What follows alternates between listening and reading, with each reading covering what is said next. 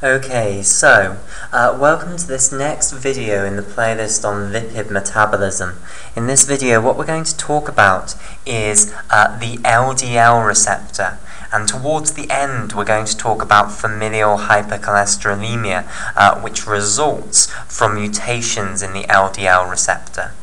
Okay, so, uh, to begin with in this video, what I want to first do is paint a picture of what LDL often, well, what LDL actually is, okay? Because often I think when people present the LDL receptor, they just start with LDL binds to the LDL receptor and they don't tell you where the LDL actually came from and what its function was. Okay, so I want to paint a more complete picture. I want to tell you where LDL comes from and the role that it plays in uh, the endogenous pathway, as it's called, which is a way of delivering uh, lipid molecules uh, to skeletal and cardiac muscle tissue when you are in the fasted state, i.e., you don't have lipid molecules being absorbed by the uh, intestine, uh, which are coming into the blood.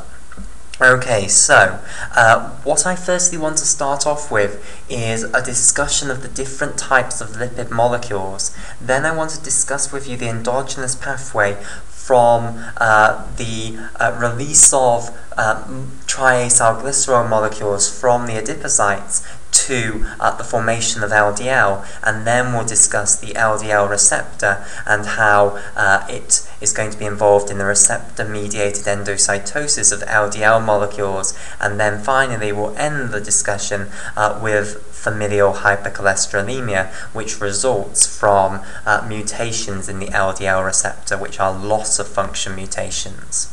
Okay, right then. So let's start off with lipid molecules, okay? So we're going to discuss the four major types of lipid molecules. We're going to discuss triacylglycerols, phosphoglycerolipids, sphingolipids, and then also cholesterol and cholesterol esters. Okay, so basically a lipid is uh, the more medical term for a fat molecule. Okay, so the sort of more common sense name for a lipid is a fat molecule.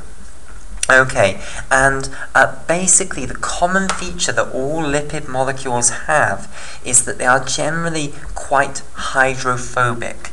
They don't interact well with water molecules.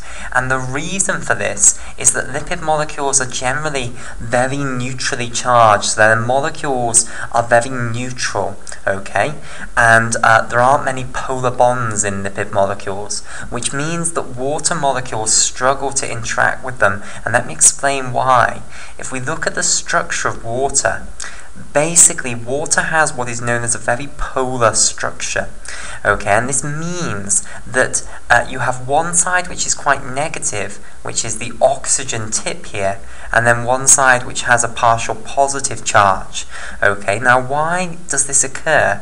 Well basically it's because the electrons in these covalent bonds between the oxygen atom and the hydrogen atom they aren't sitting in the middle between the hydrogen nucleus and the oxygen nucleus. Instead they end up closer to the oxygen nucleus than to the hydrogen nucleus. Now why is this well, uh, basically, electrons have negative charge, so uh, they uh, are attracted to positively charged particles. Now, the nucleus of atoms um, basically has protons within it which are positively charged particles, so nuclei are positively charged. So the electrons will be feeling attraction to both the nucleus of the oxygen atom and the nucleus of the hydrogen atom. The question now is which nucleus is better at pulling the electrons towards it. Well, basically, it's the oxygen nucleus that is better at pulling electrons towards it than the hydrogen nucleus. So the electrons sit towards the oxygen uh, and away from the hydrogen. Okay, the fancy word for how strong a nucleus is uh, with regards to pulling electrons towards it is electronegativity.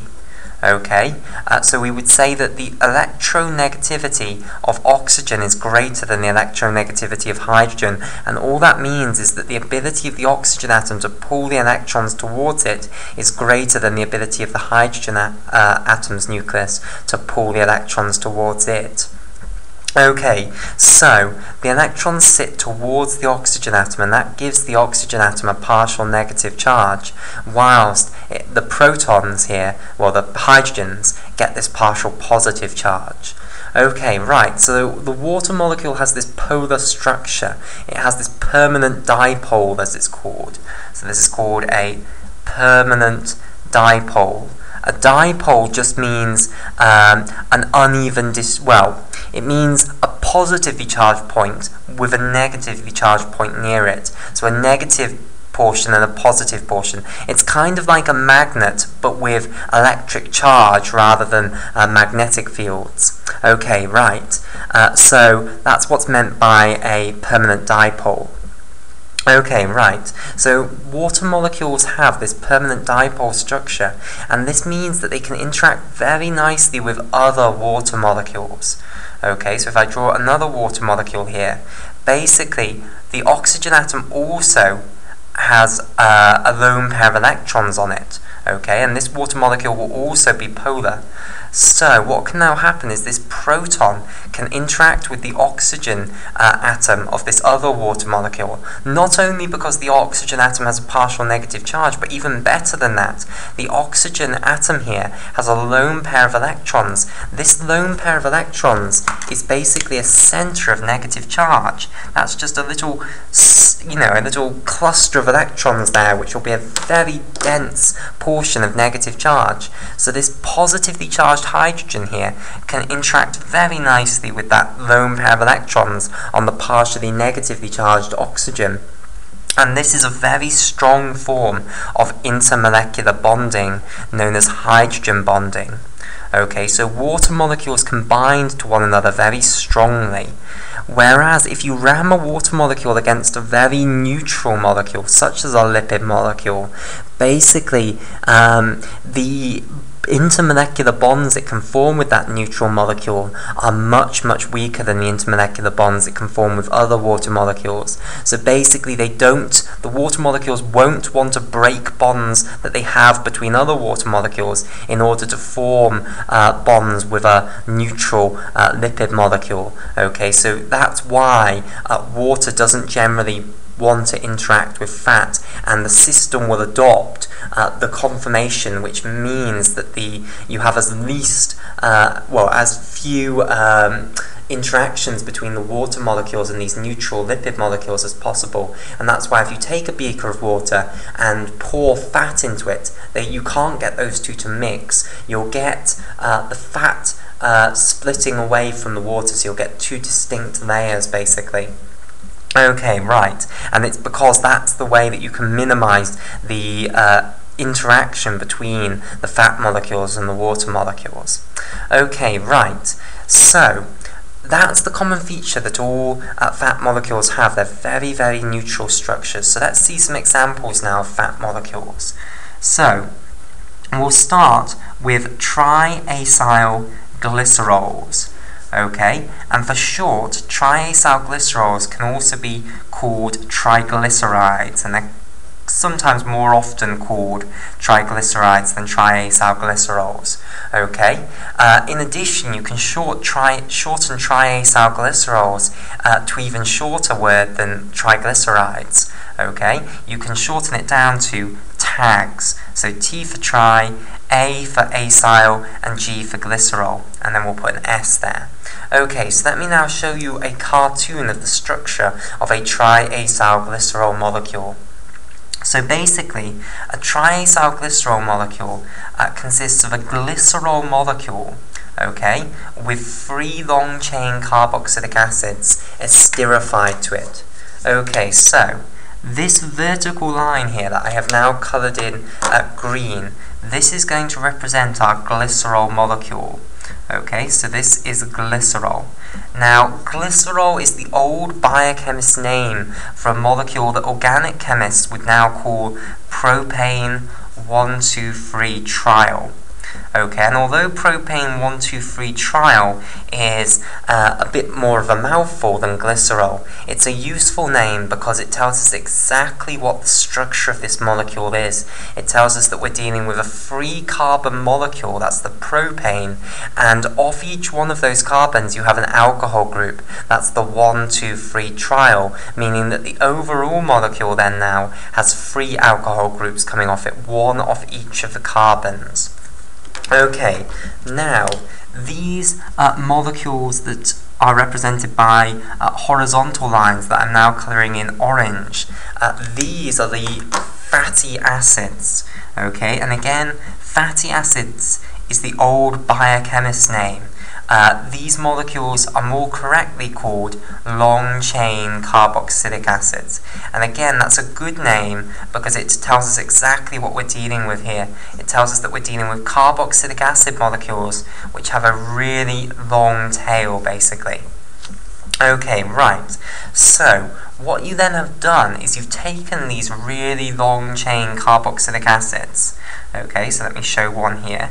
So here's the carboxylic acid group, and then I'll just put R here to denote uh, the long tail, which is very hydrophobic. And basically, uh, this can interact with the alcohol groups of the glycerol molecules. So let's say this is one of the alcohol groups on this glycerol molecule. And basically what you can do is you can perform a reaction where you bind the carboxylic acid group to the alcohol group. And what you do is you uh, remove the alcohol group from the carboxylic acid group. You remove the hydrogen from the alcohol group of the uh, glycerol molecule. Okay, you combine those two together to make water, and then you bind the carbon of the long chain carboxylic acid to the oxygen of the uh, alcohol group of the glycerol molecule. And this is what's known as an ester link. Okay, so this is an ester link. So, we are going to take three long-chain carboxylic acids and esterify them onto the glycerol molecule. Okay, so let me just give you an example of a long-chain carboxylic acid or a fatty acid. So basically, uh, the sort of archetypal example of a long-chain carboxylic acid would be stearic acid. And again, this is an old biochemist name for a molecule that would now be called octadecanoic acid. Okay, although if you're reading a biochemist textbook, it will be more likely referred to as stearic acid. Okay, right. Octadecanoic acid, once again, is the more useful name because this tells us exactly what we're dealing with. It tells us that we're dealing with a carboxylic acid that is fully saturated and which is 18 carbons long. So we have one carbon here, okay, and now uh, we need 17 more carbons. 16 of these are going to be in the form of methylene groups. So here is a methylene group. We'll want to repeat this 16 times. And then right on the end we'll have a methyl group, like so. And that takes us up to 18 carbons overall. We've got 16 in the middle in these, uh, these methylene groups. And then we've got um, 2 on the end in the form of the methyl group and the carboxylic acid group. And because I don't want to have to draw 16 methylene groups out, I have basically drawn one and then bracketed it like, bracketed it uh, like this and then put a suffix down here of 16. That's a useful trick to get around having to do a lot of pointless work. Right, okay, so stearic acid is a really long uh, chain carboxylic acid, and as you can see, this is an extremely hydrophobic tail because none of these bonds are really that polar at all. Of course, when you have two carbon atoms bound to each other, that's not going to be polar because the pull uh, that the electrons will be receiving from each of these nuclei is exactly the same because they're the same type of nucleus. Uh, but then carbon and hydrogen pretty much have the same electronegativity as one another, so the electrons really do sit midway between them. So uh, you don't get polar bonds really at all. So this is a very non-polar structure and therefore it doesn't interact well with water and we would call it hydrophobic. So this is an example of a long-chain carboxylic acid. So, you are going to esterify three long-chain carboxylic acids to the free alcohol groups of the glycerol molecule. Now, there are other long-chain carboxylic acids other than stearic acid. This is a nice example of one. Uh, but the free carboxylic acids which you bind to your glycerol molecule do not need to be the same long chain carboxylic acid. I.e., you could put stearic acid in position 1 here, and then you could have some totally different long chain carboxylic acid in position 2. Okay, so it's not set in stone which um, long chain carboxylic acids you then put in the final two positions once you've decided on your first one. You can have mixtures of different long chain carboxylic acids. And this then creates you what is known as a triacyl glycerol, or for short, a TAG. Okay, so why is it called a triacyl glycerol? What does acyl mean? Well, basically, if we look at our esterification reaction here again, you can see that when you add the carboxylic acid molecule onto the alcohol group, you don't actually add the entire carboxylic acid molecule. Instead, the alcohol group of the carboxylic acid molecule isn't actually added onto uh, the alcohol group of the glycerol molecule. And you only add what is left of the carboxylic acid molecule after you've taken this alcohol group off. This group that I have now circled in green here, this is what's known as the acyl group of the carboxylic acid molecule. Okay, so that's why we call these molecules triacylglycerols because effectively we have three acyl groups added onto the three alcohol groups of the glycerol molecule. Okay, so that's uh, a triacylglycerol. Now, there is actually another name that is used for triacylglycerols. They're also called neutral fat molecules. And as we'll see, when we look at other fat molecules, there's a good reason these are called neutral fat molecules, because their entire structure is completely neutral.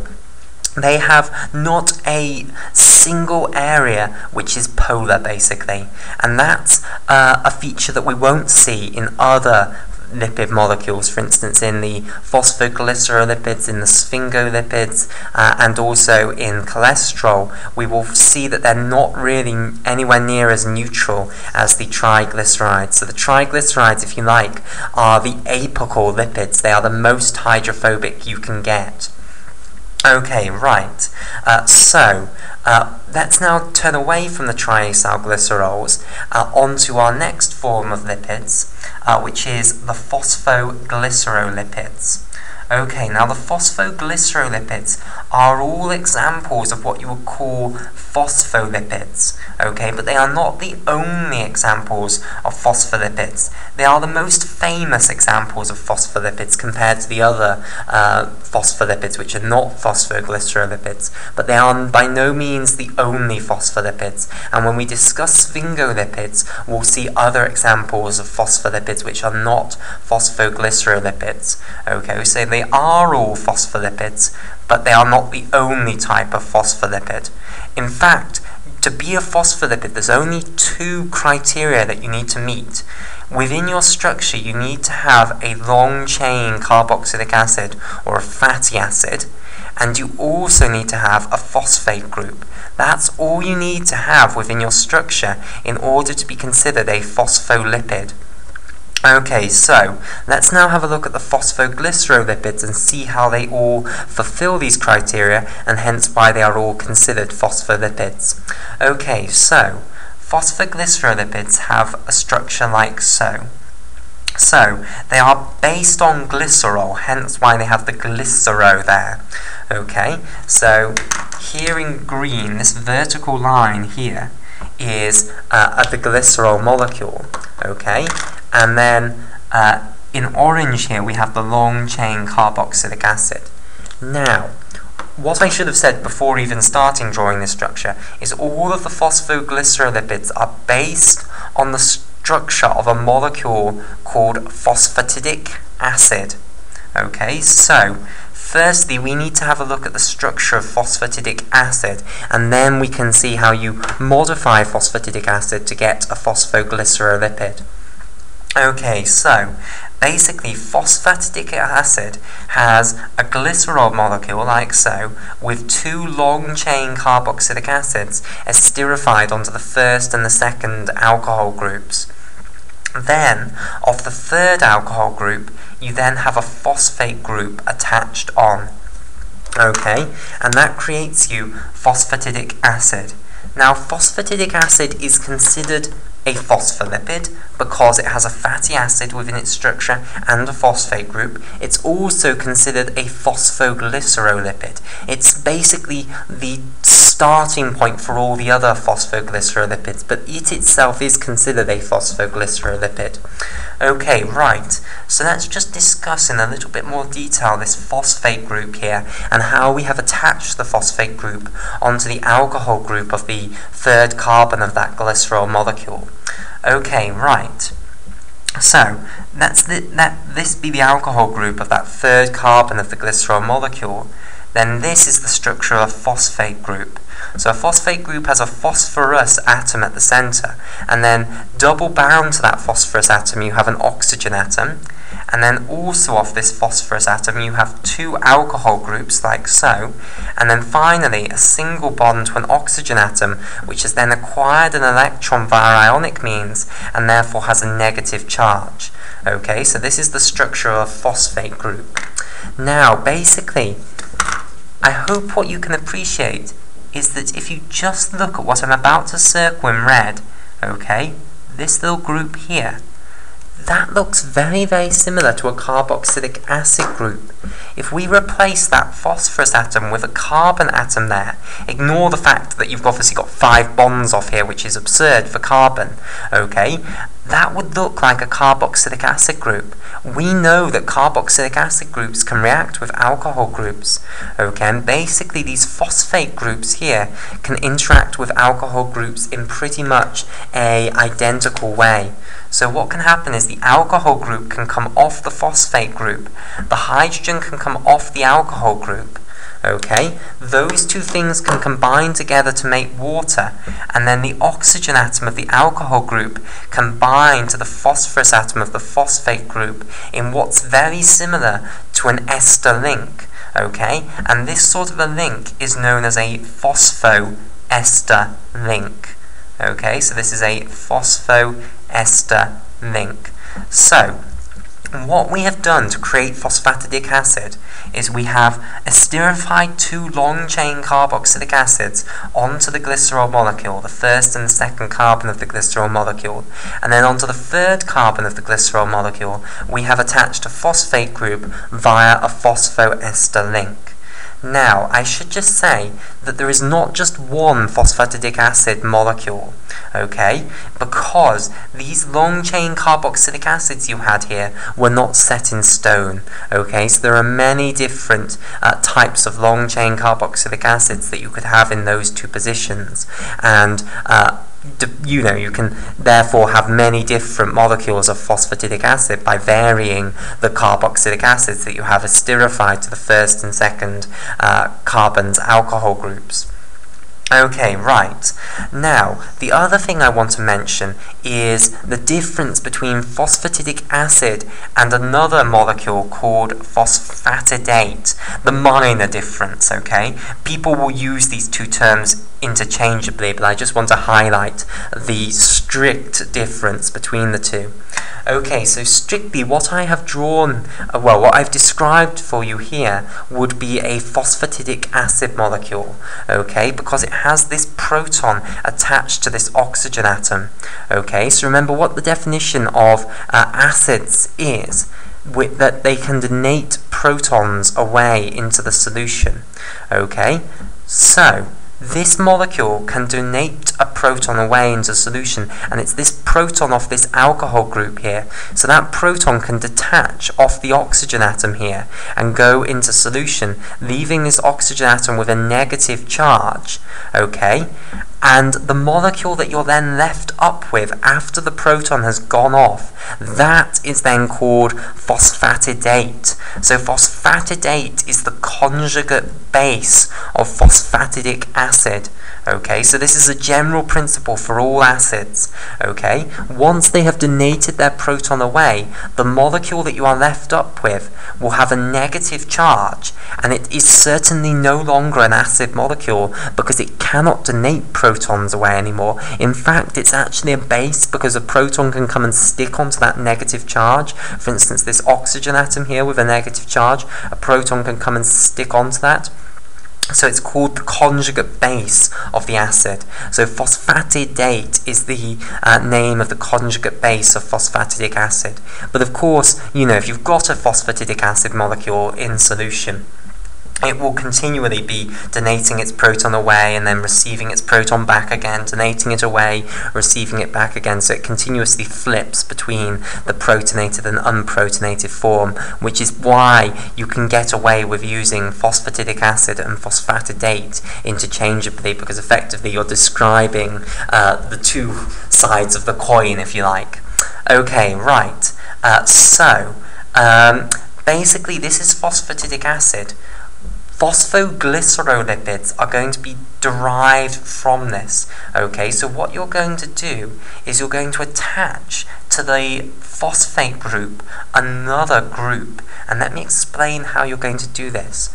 So, what you might have noticed is that these phosphate groups, which are linked to alcohol groups, well, to the third uh, alcohol of the glycerol molecule via this phosphoester link, it still has one of these carboxylic acid-like domains uh, visible here, well, intact. Okay, so it's actually got another one of these carboxylic acid-like groups.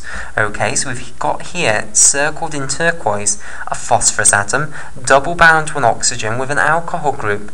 This can basically do exactly the same thing as this one circled in red did. So if we bring along another alcohol molecule here, what can happen is you can get another phosphoester link being formed. So the alcohol group will come off the phosphate group, the hydrogen will come off the alcohol group, those will go away to form water, and the phosphorus atom will then link onto the oxygen atom of the alcohol group via another phosphodiester, sorry, a phosphoester link. Okay, right. Uh, so, you can basically attach additional groups onto the other side of this phosphate group via phosphoester links. So all you need is an alcohol group and then we can attach you onto that phosphate group. Now there are all sorts of groups that you can attach on here and when you do that the resulting molecule you get is what's known as a phosphoglycerolipid. Now I'm going to give you the major example that we're going to need in this video, okay, which is a molecule known as phosphatidylcholine. Stratidiol choline. Okay, so I should say that all of these phosphoglycerolipids, which are derivatives of phosphatidic acid, their names all start with phosphatidyl. Okay, and what this means is that they are derivatives of phosphatidic acid. They've got this phosphatidic acid group, if you like, or this phosphatidyl group stuck onto another molecule. And this is going to be phosphatidylcholine, and literally what it is is a choline molecule linked via a phosphoester link to a phosphatidic acid molecule. Okay, now phosphatidylcholine is often just abbreviated to PC, and it's also got another name. It's also commonly called lecithin, and whenever you do anything with regards to um, metabolism, you'll often hear people talking about lecithin, and it's just the old name for phosphatidylcholine. So, let me just show you the structure of the molecule choline that we are going to link via a phosphoester link onto the phosphate group of our phosphatidic acid molecule. Okay, so basically, uh, choline has to be an alcohol in order for it to be able to be linked to the uh, phosphate group via a phosphoester link. And basically, it's the same molecule uh, that you have within the famous neurotransmitter acetylcholine. In acetylcholine, you have esterified an acetic acid molecule onto choline. Remember, acetic acid is just the old name for ethanoic acid, which is what's in vinegar, the two carbon carboxylic acid. Okay, so we're now just going to see the pure alcohol on its own, which is called choline. Okay, so basically choline has an ethylene group in the middle, so it's got these two carbons here, and then on the other side, to the side where the alcohol group is, you've got a nitrogen atom, and this nitrogen atom has three methyl groups coming off it. One, two, and then three. Now, nitrogen isn't supposed to have four bonds. Uh, in the ideal world, it would only have three. So what's happened here is that the nitrogen atom has donated both electrons uh, of its usual lone pair into one of these bonds. Okay, so the normal understanding of a covalent bond is that uh, one electron comes from each of the members. So the nitrogen puts in an electron, the carbon puts in an electron, and then they hold the electrons in between them and share them basically. Okay, but in one of these bonds, let's say it's this one here, the nitrogen will put both electrons. Okay, so it has a, it used to have a lone pair, and it's put both of those electrons of the lone pair into one of these bonds. Okay, right. Now, when it does that, it's effectively lost itself an electron because, as I say, the understanding of a covalent bond is that one electron belongs to the nitrogen and one belongs to the carbon. So if the nitrogen puts in both here, it's as though it's given one away to the carbon. Okay, so the nitrogen gets a positive charge. And you might ask, well, does that mean the carbon gets a negative charge because it's received this extra electron? Well, the answer is no, because the carbon will have originally come into this uh, sorted arrangement here uh, with a positive charge, basically. So the carbon will have come along, have already having had an electron nicked off it, basically, and then it's come along, bound to the nitrogen, nicked an electron off that nitrogen, neutralized itself, and left the nitrogen with a positive charge. So basically it's deferred the positive charge onto the nitrogen. So the whole choline molecule overall is positively charged. So, what you're then going to do is take this alcohol group and just as I've described here, you're going to link via a phosphoester link this choline molecule onto the phosphate group of the phosphatidic acid molecule to create a molecule of phosphatidyl, that's referring to this portion, and then choline, okay, often abbreviated to PC and um, sometimes called lecithin. Okay, so all of these phosphoglycerolipids are phospholipids. They all satisfy the condition that they have a fatty acid within their structure, most definitely, and a phosphate group, because phosphatidic acid had all of that. So, of course, if they're derivatives of that, they will satisfy that condition. Now, let me contrast them to triacyl glycerols. Remember, triacyl glycerols were sometimes called neutral fat molecules, and we remember they deserve that title because their entire structure is incredibly neutral. There is no polar bonds anywhere. Okay? In contrast, these phosphoglycerolipids, yes, they have an extremely uh, neutral portion over here, which is very hydrophobic, but this phosphate group this has got this oxygen atom here, which has a negative charge, a full negative charge. Now that's a good, good polar structure there. Okay, so um, the phosphate group is certainly polar, and that will be able to interact with water molecules very nicely, because you know that's a strong negative charge there. In addition, the groups that we add on, for instance, choline, choline has a positive charge over here, so it's got a group, it's got a charge as well, basically. So the heads of these phosphoglycerolipids often will be quite good at interacting with water. They'll be quite hydrophilic. So they're not like the triacylglycerols, which cannot interact with water at all. Okay, right. So we'll call it there for this video, and in the next video we'll continue our discussion of the lipids before moving on to the endogenous pathway.